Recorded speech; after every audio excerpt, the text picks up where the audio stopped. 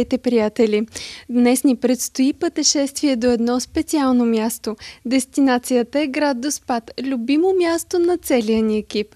Причината за гостуването на снимачния екип там бе заснемането на видеоклипове за четвъртия DVD албум на фолклорна група Доспад. Съставът е към читалище Иван Вазов и е емблема на града. Художествен ръководител на състава е господин Лилко Вълнев. Освен видеоклиповете, екипът ни засне и дозина рецепти от доспадската кухня, които нямаме търпение да ви покажем. Този и следващия брой на фолклорна трапеза посвещаваме изцяло и единствено на музикалните и кулинарни традиции на доспадчани.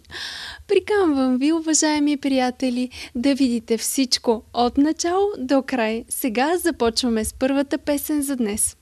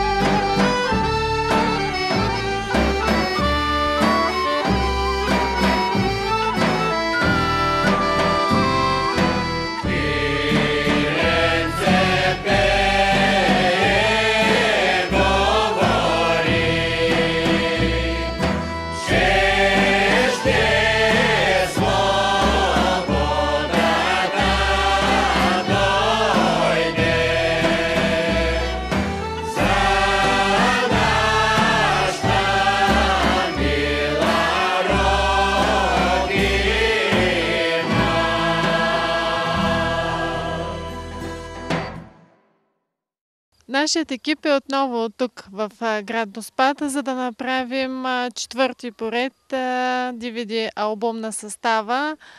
Радваме се на тази покана и отново сме очаровани от атмосферата на този град и от хората. Разбира се, нека да кажем първо каква беше причината да подготвите тези песни и да ни поканите.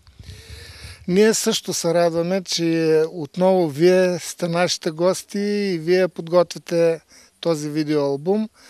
Целта, която си поставихме, за да ви поканем, е това, че искаме да покажем родопската песен и в частност типичната стара доспадска песен. И за това сме заложили няколко стари доспадски песни, като с нощ си отидох а, за врясна вода, Моме, моме, малка и моме.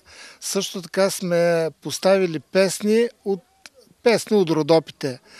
А също така и две песни от Пиринския край, тъй като знаете, че ние сме на границата между Пирина и Родопите, обичаме и пиринската песен и затова имаме и две песни заложени в този албум. Също така и имаме песни, които са наши авторски, по текстове на нашия самодеец и краевед Красимир Плелов. Кои са те? Нека да кажем заглавията. Заглавията са Запело е на събора, Разболяй ми се млад Стоян и има още няколко, които са те в проект за бъдеще. Е, залагаме на тях, за да имаме нещо емблематично наше, което да ни представя като това да е като наша емблема за нашата фолклорна група. И нов фолклор. И нов фолклор, да. Също така се радваме, че между нас има много млади хора, има преемственост, възрастните не се отказват, продължават да пеят и да свират. Предаваме това фолклорно изкуство на младите. Радваме се, че имаме двама изпълнители в групата, които в момента учат са за втори курс в Средно музикално училище Широка лъка. Миналата година посетихме фестивали като фестивала на Високи западни Родопи Батак. Там спечелихме първо място и получихме висока награда. Също така правихме фестивал в Доспад Родопа пее и танцува 2. Също така в Смолен участвахме в фестивала на общината в Смолен, където се проведе и най- най-дългото хоро на Родопите. Там също бяхме така атрактивни и публиката ни прие много добре, много радушно. Нека сега да кажете за това как създавате музиката за новите песни. Нали е ваше дело? Да. Ами музиката, как я създаваме? Тя идва просто така изведнъж. Представям си цялата група, как ще изглежда и не мога, аз не мога да обясня. Просто е, появява се в моето съзнание, запаметяваме и по текстовете, понеже господин Плявов пише много хубави текстове и не може един музикант на такива хубави текстове да не направи песен. Има една специална песен, тази, която сте посветили на събора тук. Нека да разясним на зрителите за какво става дума. Тази песен сме направили специално за нашия празник на събора тъй като това е традиционен събор. Аз от като се помня като човек от дете, помня, че този събор се прави, провежда се. Това са и културните тържества на Доспад. В нея ние описваме, че на поляните започва празника, идват хората покрай изовира, сцената се пълни с самодейци, с изпълнители и също така нали, хората идват, разговарят, да се видят от едно населено място в друго. И в песента се казва нали, накрая, че пак ги каним до година отново да посетят нашия събор, да се повеселим, да си поговорим и отново да се видим, да се срещнем.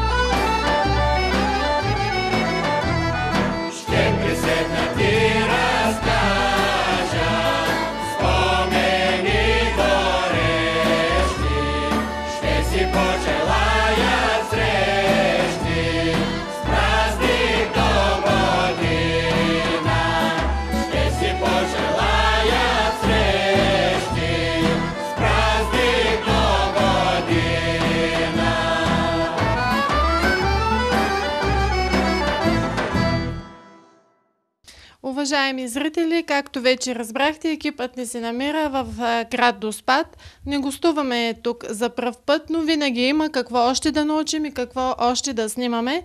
Отразяваме музикалните и кулинарните традиции на Доспадчини, които заслужават да бъдат видяни и популяризирани. Казвам се Обена Пържанова. Живея от тук, родена съм в град Доспад. Живяла съм тук през, ця... през целия си живот.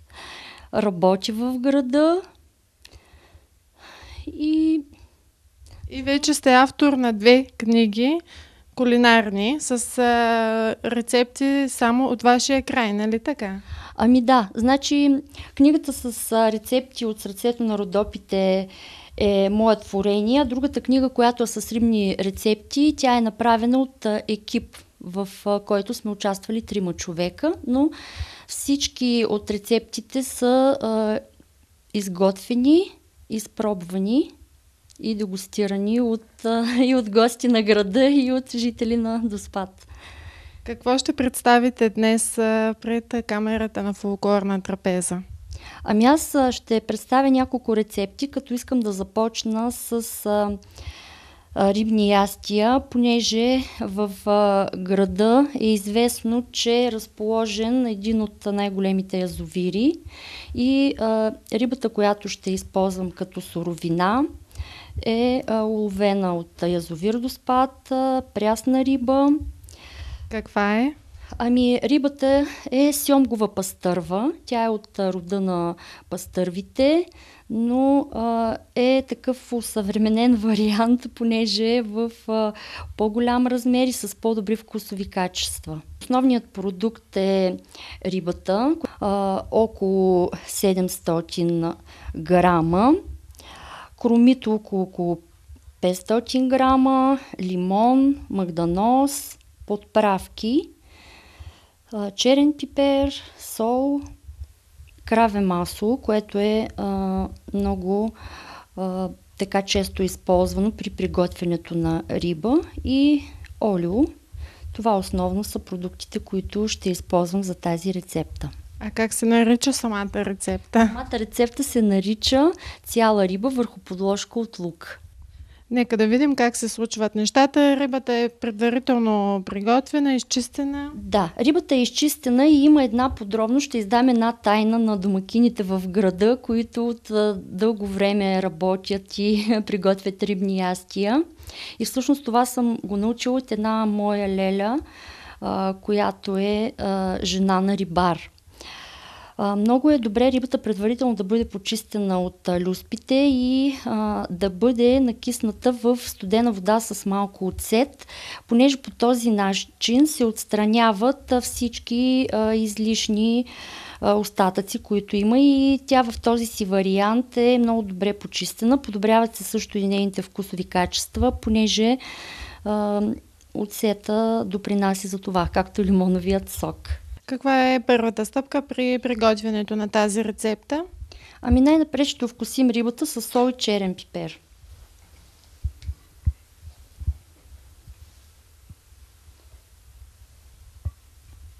Тук като количество колко ще сложите от подправките? Ами на вкус.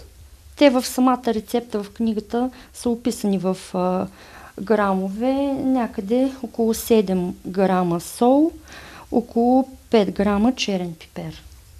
Иска ли много печене тази риба? Ами не много, значи тя се пече обвита в фолио около 15 минути и след това а, се допича, за да получи червена коричка, още около 5-7 минути. А, така че а, не е дълга обработката. И другото нещо, което искам да кажа, че е добре за рибните ястия да не бъдат дълго обработвани кулинарно, понеже по този начин се запазват техните вкусови качества, когато не е много препечена. Да не се прекалява с печения. Да, месото е много нежно и е хубаво да се внимава при печенето. Мъничко ще поръсим и с олио.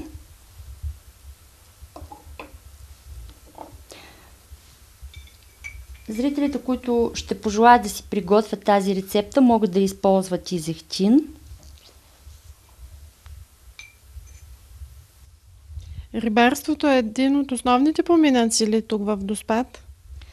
Ами, може ли да се каже така? Ами, може да се каже, но а, според мен само за отделни родове понеже рибните ястия се приготвят тук от дълго време, но от семействата, в които има рибари. Има такива 5-6 семейства в а, града, при които дядовците са били едновременно и ловджи и рибари и те по този начин са осигурявали препитанието на семейството. Така че според мен а, аз от дълго време се занимавам а, с а, тези изследвания и съм проучила, че определени родове в града имат а, много а, опит в обработването на риба, рибни консерви и доста от а, възрастните хора са си изхранвали по този начин децата. Нека да продължим напред. Продължаваме напред. След като сме овкусили рибата и оставяме да може да поправките да попият много добре и да поеме месото от тях. Сега трябва да си нарежем на ситно магданоз и кромит лук, с което ще напълним кухината на рибата. Колко рибни рецепти успяхте да съберете в сборника? Ами в сборника са 42 рибни рецепти. А кои риби са характерни за вашия край? Ами за нашия край а, са характерни предимно пастървата. А, преди в поколенията са използвали мряна, каракуда и сега също се използват, защото пастървата тя е зарибена по изкуствен начин и също и сьомговата пастърва, тя е по нов вариант на самата пастърва. И затова рецептите, които се приготвят тук са предимно от тази риба, от пастърва. Този лук подготвихте за плънката вътре. А, като към него ще добавя и настъргана кора от лимон.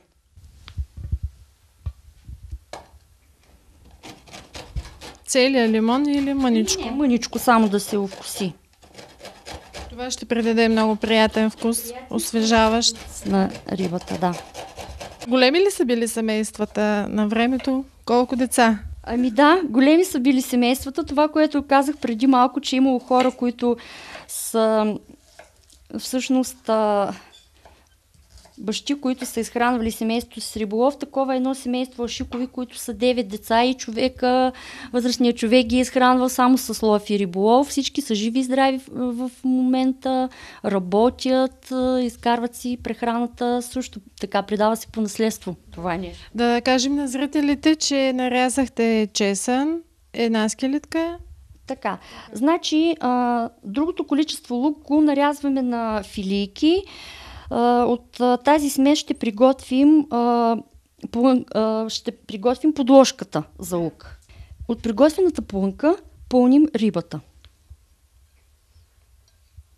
по някакъв начин тя овкусява ли се или е достатъчно това, че рибата е овкусена? Ами мъничко сол сложих и лимоновата кора, която ни придаде, ще придаде всъщност свеж вкус. Ще се шие ли рибата? Ми не, не. Дори и част от плънката да а, излезе в тавичката, а, тя е сходна с състава на подложката, така че няма проблем. Може да добавя още малко случица. Така. Сега трябва да подготвя тавичката за печене. Поливам с а, олио, не в голямо количество. Само колкото да бъде намазана. Това е на едро нарязан лук, който казахте ще използвате за подложка. Да, разполагам лука нарязан на филийки на дъното на тавичката.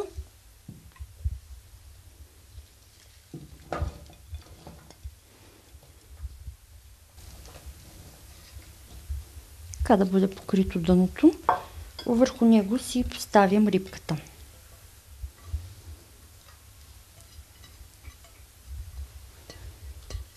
Казах преди малко, че няма проблем част от плънката да бъде и върху подложката, понеже са с еднакъв състав. Така, сега така ще печем около 15 минути, като обвием рибката в фолио.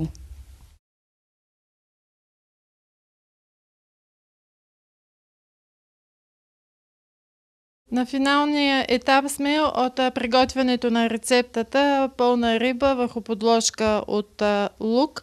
Предстои да извадим тавата от фурната и да се довърши рецептата, нали така? Да.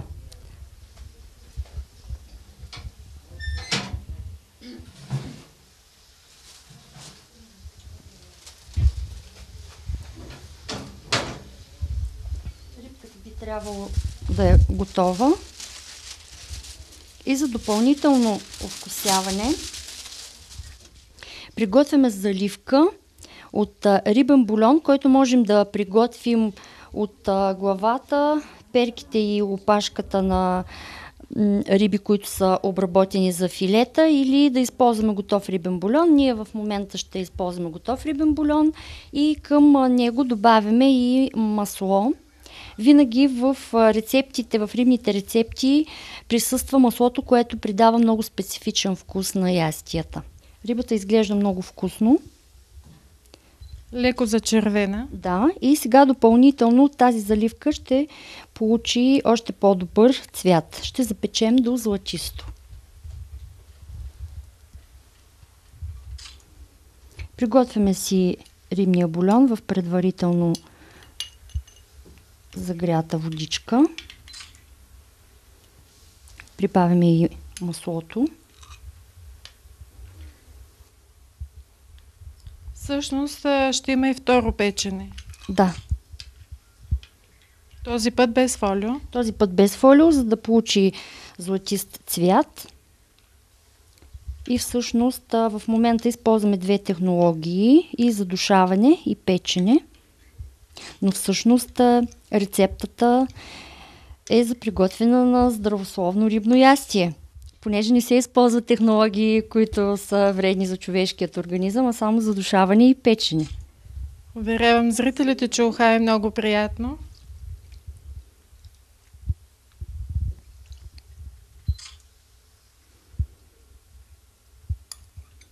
И сега допичаме някъде за около 7 минути. На колко градуса? На около 200-220 градуса. Можем да поставим тавата във фурната.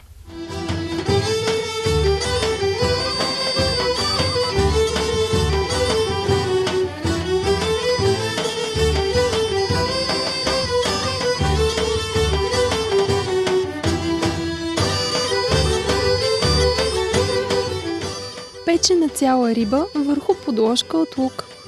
Необходими продукти. Риба пастърва. Един брой около килограм. Кромит лук 500 грама. Чесън 2 скилитки. Растително масло 80 мл. Лимони около 100 грама. Краве масло 40 грама. Черен пипер 3 грама. Сол 6 грама.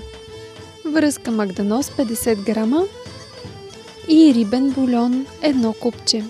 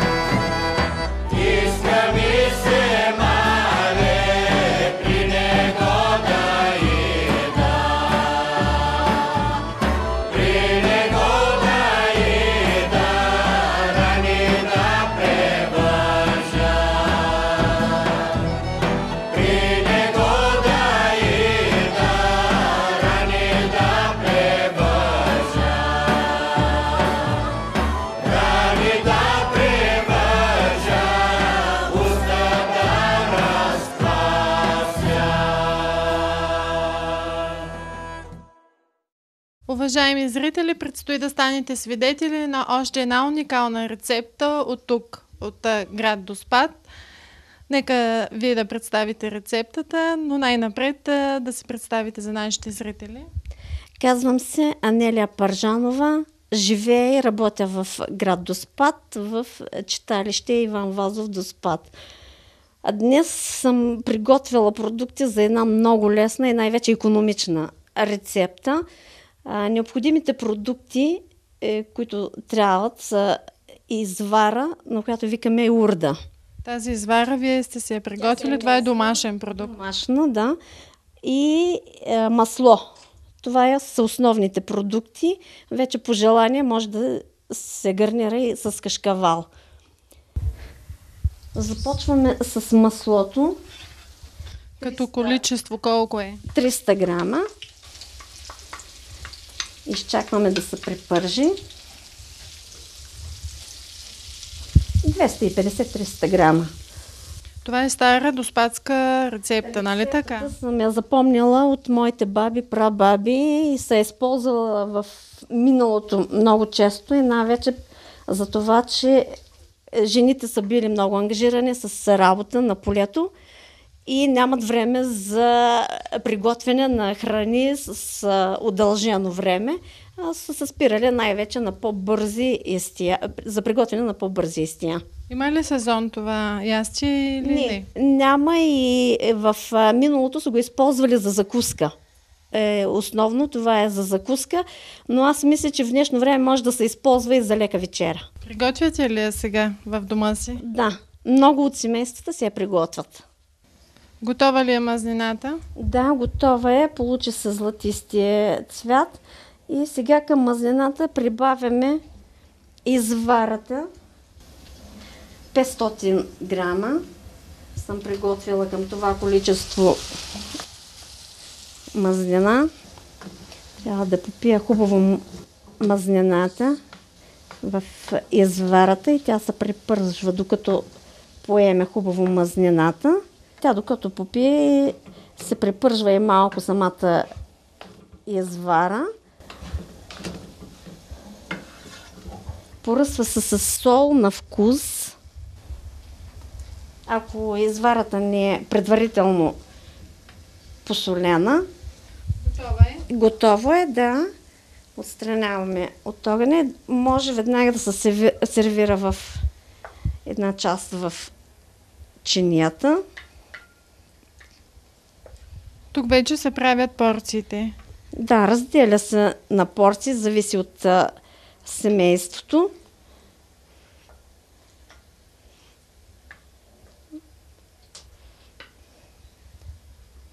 По желание вече може да гарнираме с, докато още е гореща, с а, кашкавал.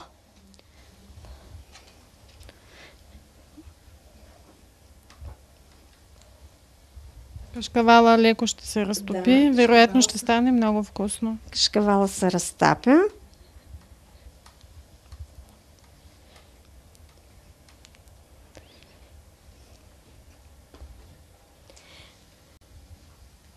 Пак за украса ръсим с щипка червен пипер. Това също е по желание.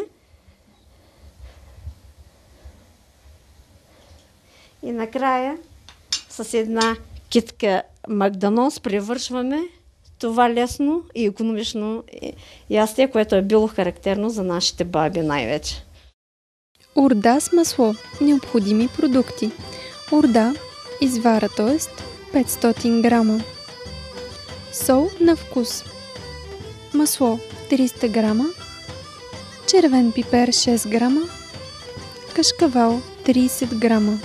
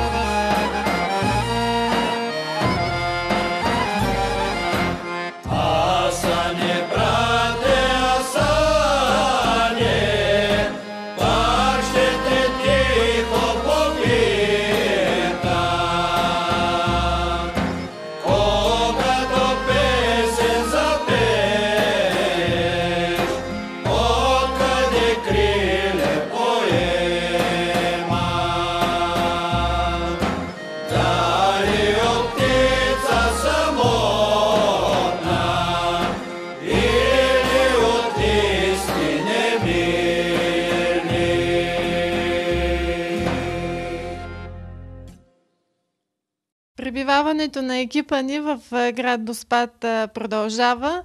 Следващата рецепта, която ще приготвим, се нарича риба с мащерка и лимон. Продуктите е риба пастърва, в зависимост от това колко членно е семейството. Аз съм подбрала 4 рибки за 4 членно семейство. Мащерка, лимон са основните продукти и подправки черен пипер, сол и олио. И всъщност рецептата според мен е много економична, като изключим рибата. Нека да започваме тогава. Намазняваме тавичката с олио. Всяка рибка също се овкусява с сол, черен пипер и в кухината й се поставя мащерка. Интересното е, че мащерката е прясно набрана, и след приготвянето на рибата, преди консумиране, тя се отстранява. Кои са характерните подправки тук за вашия край, които най-много използвате? Ами, използваме джоджан, който е градински наш приготвен. В последно време много се използва мащерката, черния пипер, в старите ястия, кои са най-често срещаните подправки? Ами, да ви кажа, подправките не са в, така, в голям асортимент и, и голямо количество. Те са навлезнали малко по-в късен етап а, при приготвянето на ястия. Може би също по обясними причини, понеже тук надморската височина е много а, голяма, намираме се на 1230 метра, така че а, не виреят а, такива топлолюбиви растения и подправки. Когато я приготвях за първи път вкъщи тази рецепта, Моето семейство малко с резерви се отнесе, понеже мащерката цяла беше сложена в кухината, но след това бяха очаровани от вкуса, който придаде. А каква е вашата професия? С какво се занимавате? Ами аз съм учителка. През целия си живот съм работила като учителка. Преподавам в една професионална гимназия. По принцип съм специалист, който се занимава с текстил и облекло. И някъде около 19 години съм преподавала дисциплини, които са се занимавали с начин на приготвяне на облекло, но в последно време поради демографски причини, така има отлив на младите хора от града, се наложи да направя една преквалификация – а, също в същото училище работя, но по друга специалност. Там готвим специалисти, които приготвят ястия. Специалността е кулинар. И всъщност аз си мисля, че вече си попаднах на мястото. И аз си мисля, че И аз си мисля, че попаднахме на точния човек, който да представи а, кулинарните традиции на Доспад. Рибата е приготвена по този начин и се слага да се пече някъде около 13-15 минути, без да се обръща до получаване на червена коричка. Може да се предложи и да се сервира с задушени картофи, с зеленчуци и също така можем да приготвим една здравословна храна, като гарнираме рибата, например, само с зеленчуци. И с настроение. Точно.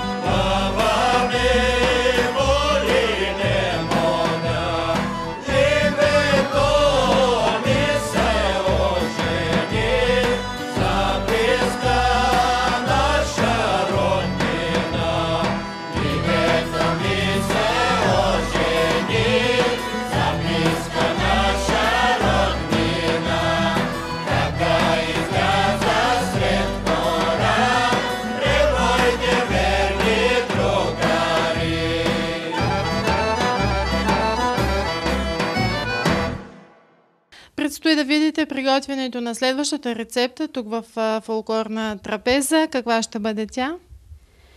Искам да представя десерта Ашуре. То се прави в цял свят и в България. Гледала съм и по телевизия, сега обаче в Доспад се прави по друг начин. Искам да го представя така, както се става в нашия град. Как се казвате вие? Десислава Плявова съм, от град Доспад съм.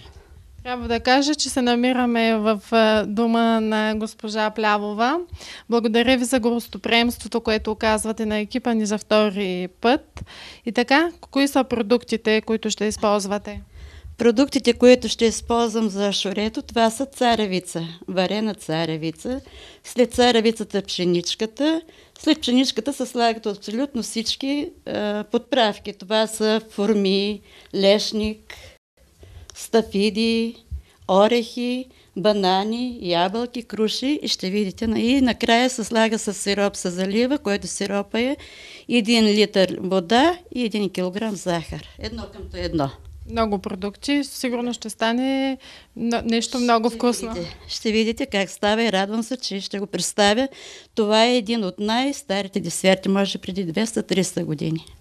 А защо се нарича така? Откъде носи името си? А, името си носи, аз го трябва да ви разкажа, когато на времето са пътували пътници с кораби и много е било пътуването и накрая, когато се свършва храната и капитана на кораба излязал и казал, кой каквато храна останала, да я даде да направим ашуре. И те взимат храната допълнително, сваряват в един казан и така нахранват пътниците. Това е думата ашуре. С какво започва приготвянето на тази рецепта? Ами най-напред започвам с царевичката. Тя е сварена много добре, измита, чистичка, която се представя първо е тя. Има предварителна подготовка тук? Да, подготвена е царевицата. Ето започвам да я слагам. Като количество тя като че ли най-много? Или така изглежда само? Порции съм направила 1 кг царевица.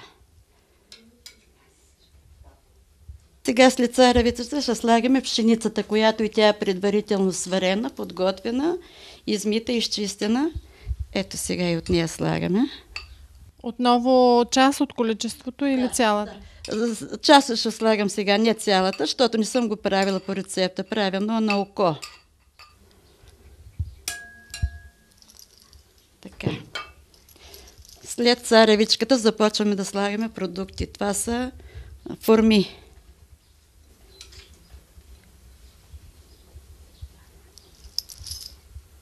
След формите слагаме лешници.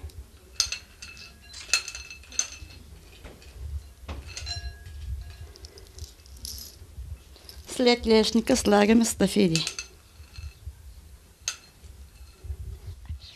Много богато се получава. Така. След стапидите слагаме орехите. И плодовете накрая. И сега започваме с плодовете. Започваме с банана. Банана как се подготвя? Ще се реже ли? Да, ще се реже на филийки. Ето.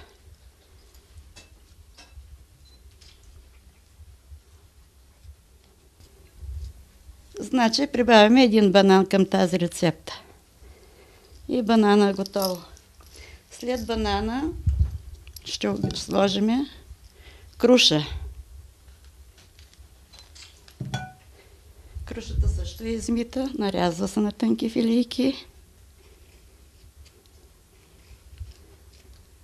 Много е интересно всичко, което показвате. Да, това е едно в него най-малко трябва да има едно 9-10 продукта. След е, крушата слагаме ябълка.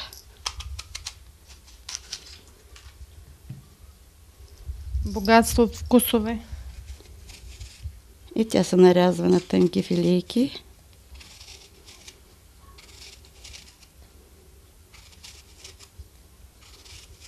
Всички плодове много трябва да са чисти, измити за да се запазят. Имаме и нектарини. А, може да сложим нектарини. Фактически, каквото имаш под око, слагаш от всичко. Това е много хубаво, защото се слага и за това се нарича ашоре.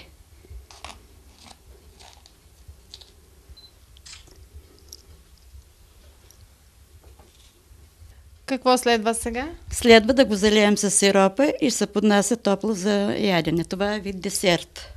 Сиропа ври. Сиропа е готов. Сиропа трябва да ври при цедение и се сипва в така нареченото ашуре. Ето го. Сиропа трябва да покрие вероятно продуктите. Но всичко покрива, да. Покрива продуктите. И това И ги овкусява. Да. Вече за десерт.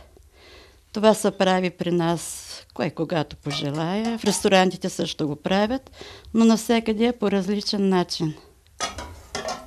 Ние го правим тук.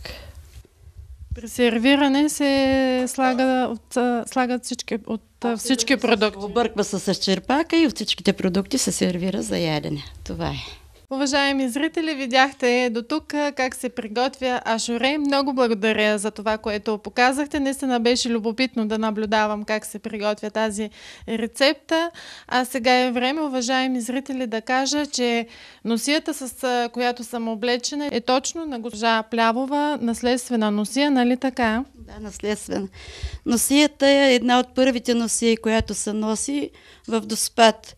Тя я, някога са ходили на времето търговци, носили са там от нас царевица, жито друго, са донасяли носия. И когато се омъжва млада булка, например, аз когато взема снаха, трябва да я подаря от тази носия, от този касак, пафтите, престилката и заедно с жълтиците. На колко години е тази носия? Може би има едно 200-300 години, защото това е от наши баби, пребаби, много е стара. Най-старата е тя. Ето сега ще сложа. Защото задължително тя трябва да носи а, жълтици са давали. Това е. А пафтите на колко години са? Пафтите те са толкова години. Те имат на 200-300 години, които са пафти чисто сребро, с камъни. Това са наследени от моя прабаба, пра... Не мога да кажа. Много са въз... такива от много години. Рядко ли са точно този тип носи Рядко сега в доспад? Рядко са, тя въобще не се носи в доспад. Това е когато се наложи при някакви ритуали, използваме, но я няма. Много я търсиме, но я няма носията. Благодаря ви за всичко. Беше ми изключително приятно да се видим и тази година. На мене също ми е приятно. Много се радвам, че сте ми гостувате. Заповядайте пак. Когато решите, винаги сте добре дошли. Ашуре. Необходими продукти. Сварена царевица 500 грама. Сварена пшеница 100 грама. Захарен сироп, приготвен от 2 литра вода и 1 кг захар. Ядки. Орехи, лешници, бадеми. Плодове. Банани, ябълка, круша. Сушени плодове. Форми, стафиди.